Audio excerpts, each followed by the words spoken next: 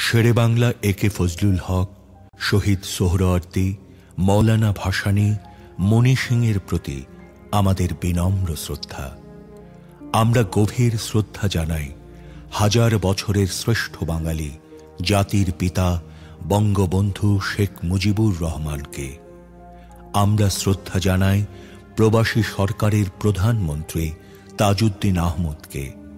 আমরা শ্রদ্ধা জানাই একাত্তর পূর্ব ছাত্র নেতাদের, যারা বান্ন, বাষট্টি, ছেষট্টি, ঊনসত্তরে গণ আন্দোলনের সৃষ্টি করে বাঙালি জাতির স্বাধীনতা ও মুক্তির সংগ্রামে বঙ্গবন্ধুর পাশে ছিলেন।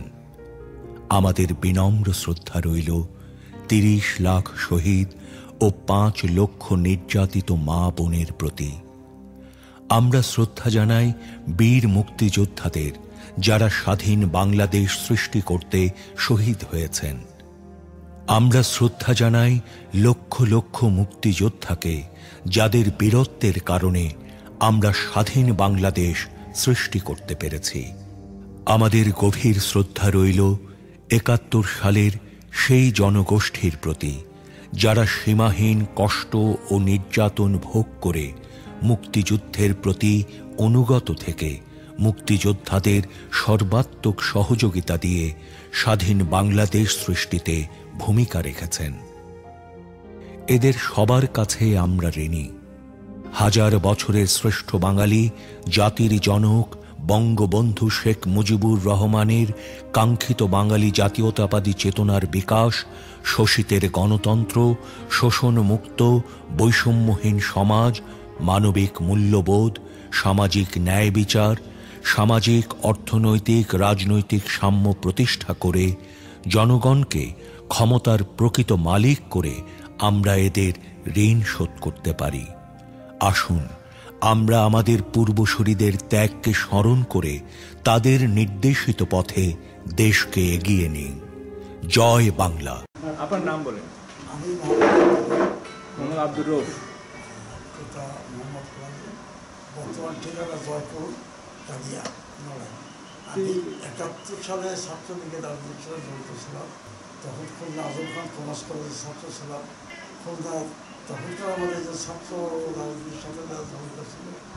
জসিমুদ্দিনের কবজ কবিতার মতো হয় মনে পড়ে মানে যে কজন নাম বলব। তার এক দুজন বাসি আছে কেউ বাসি আমাদের মুশারেফ ভাই ছিল তারপর শেখ কাইম ছিল তারপর সুকান্ত নন্দী আব্দুল সালাম এই ভিতরে শুধু কাবুজ্জামান এসকেন্দার কবির বাসু, এই ভিতরে শুধু টুকু ভাই বেঁচে আছেন। উনি ছিলেন খুলনা ছাত্র দিয়ে তখন আমাদের কেন্দ্র মানে খুলনা ছাত্র লীগের নেতা।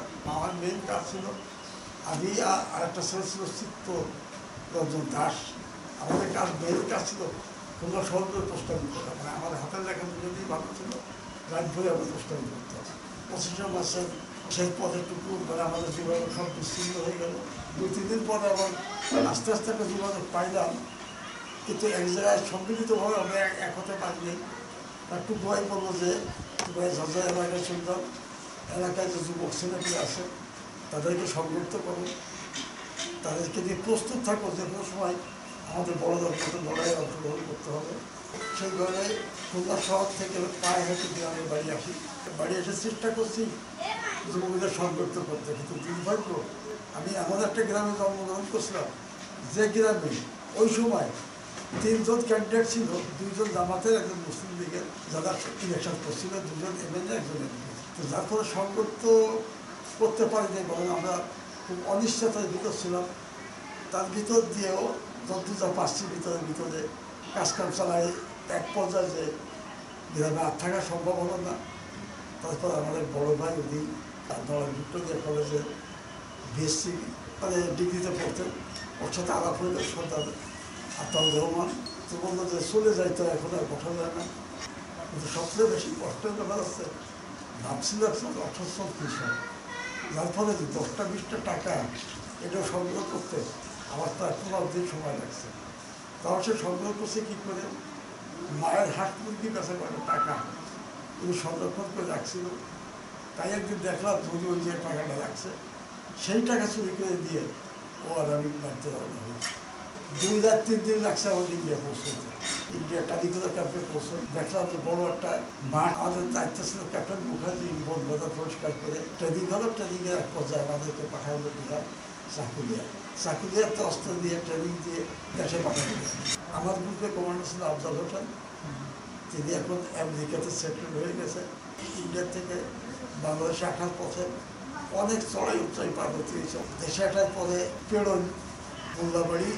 দেশে ঢুকার পরে অনেকগুলো ষড়ঙ্গ যুদ্ধ সম্মুখীন হয়েছে, কিন্তু আমাদের মূল ট্রেনিং যেখানে ছিল, সেটা বলছিল হিট অ্যান্ড লার্ন আঘাত করে কমায় আসা কিন্তু আমরা সেটা কখনো মানতে পারিনি। যে একটা এলাকায় রাজাকার আসতেছেন বা রাজাকার অত্যাচার করছেন, আমরা দুটো গুলি করে চলে আসলি। ওই গ্রামে অত্যাচার করবে মানুষ মানুষ সরকার তখন তো তারা আমাকে আশ্রয় দেবে। অনেক সময় সামনাসামনি যুদ্ধ করতে হয়েছে। কিন্তু এলাকায় অস্তিত্ব রাখার জন্য। এরকম বেশ কয়েকটা ঘটনা আছে যা বলতে গেলে অনেক সময় লাগবে সবচেয়ে শেষ ঘটনা মানে যেটা ছিল আঠারো উনিশ ঘণ্টা, সেটা হচ্ছে আমাদের কালিয়া থানা অপারেশন হবে। অপারেশনের সিদ্ধান্ত হলে আমাদের হেডকোয়ার্টার হয়ে যেতে। চারটে গ্রুপে চারপাশে আমরা থাকব। তো আমার দায়িত্ব, আমার এবং আমাদের গ্রুপে দুই দুটো গ্রুপ ইন্ডিয়ান ট্রেনিং ছিল, একটা গ্রুপের কমান্ডার ছিল আমার সাইদ ভাই এবং ওই যে ইকরাম মোহাম্মদ টুকু আর একটা গ্রুপের কমান্ডার ছিল আফজাল ভাই এবং আমি। আমাদের বলো দক্ষিণ নদী আমার দক্ষিণ পাশটা আমাদের আর ফোড়েদা মির্জাপুর থেকে একটা গ্রুপ আসবে তারা থাকে নদীর পশ্চিম পাড়ে। তারা কভারিং ফায়ারটা আর পূর্ব পার উত্তর প্রান্তে পাশে তাদের থাকার কথা ছিল। কোনো একটা কারণে ছিল না।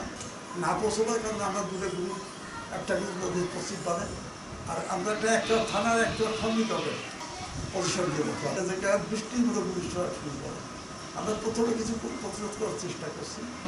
দুর্ভাগ্য আমাদের এনার্জি ইনঅ্যাক্টিভ হয়ে গেছে। কারণ পয়সায় প্রতিরোধটা টিকাতে পারলাম না।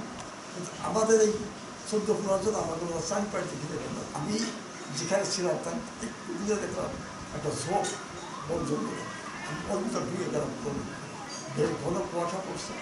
দেখি যে একটা গর্ত, বন জঙ্গল হয়ে ঘিরে রাখছে গর্ত আমি ওই গর্তের ভিতরে দাঁড়িয়ে গেলাম। এখন সময় তো আর যায় না। সেই ভোর ছয়টার থেকে এইভাবে থাকতে থাকতে আজান শুনলাম, তখন বুঝলাম যখন বোধহয় হবে আসলে আজান মর্গের বিশাল তো আস্তে আস্তে ওখান থেকে মাথা দিয়ে বেরোয় এখন কোন দিকে যাব? মানে সারাদিন এই দুশ্চিন্তা আর ইসেতে মানে ব্রেনটা এমন পাজেন্ট হয়ে গেছে যে আমি রায় করতে পারছি না। গর্তের ভিতরতে মাথা উঁচু করে অনেকক্ষণ দাঁড়ায়। চোখ পড়ল যে আমার উত্তর দিক দিয়ে নদীর ভিতর দেখ পলাশ যাচ্ছে, তার লাইন দেখা যাচ্ছে। তখন বুঝলাম যে নদী যেখানে আসে এখান থেকে আমি সামনের দিকে এগোই, তাহলে রাজাঘাট ক্যাম্পে চলে যাব। পিছনের দিকে সামনে দিলাম তখন আস্তে আস্তে আস্তে আস্তে তখন পাইলাম হাঁটতে হাঁটতে প্রায় আধা ঘণ্টা হাঁটার পরে পাইলাম একটা বালুচর।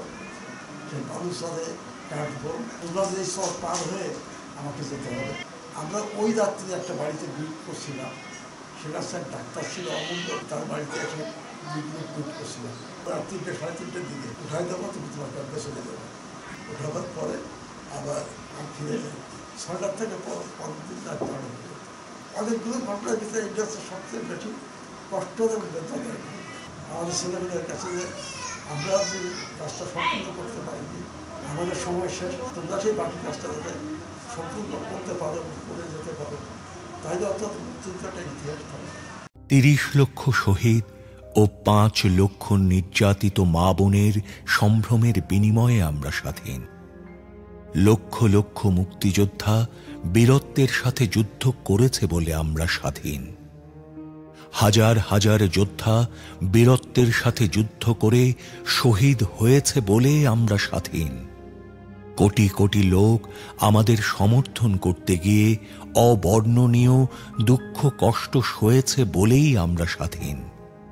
হাজার বছরের শ্রেষ্ঠ বাঙালি, জাতির জনক বঙ্গবন্ধু শেখ মুজিবুর রহমানের কাঙ্ক্ষিত বাঙালি জাতীয়তাবাদী চেতনার বিকাশ, শোষিতের গণতন্ত্র, শোষণমুক্ত বৈষম্যহীন সমাজ, মানবিক মূল্যবোধ, সামাজিক ন্যায় বিচার, সামাজিক, অর্থনৈতিক, রাজনৈতিক সাম্য প্রতিষ্ঠা করে জনগণকে ক্ষমতার প্রকৃত মালিক করে আমরা এদের ঋণ শোধ করতে পারি। আসুন।